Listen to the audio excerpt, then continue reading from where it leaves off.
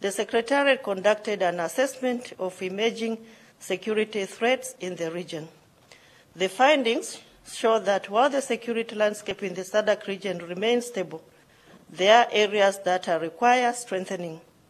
And these relate to terrorism and cybersecurity, transnational organized crimes, climate change and, uh, and disasters, governance and democracy, and cross-cutting issues.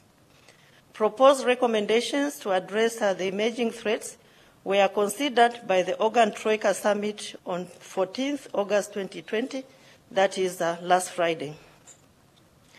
In implementing the recommendations, priority will be placed on measures to combat, to combat terrorism, violent attacks, and cybercrime. 30. Summit expressed solidarity with the government and the people of uh, Mauritius for the environmental disaster in, in its waters caused by a grounded ship and they called upon SADC member states and the international community to support Mauritius in containing the disaster.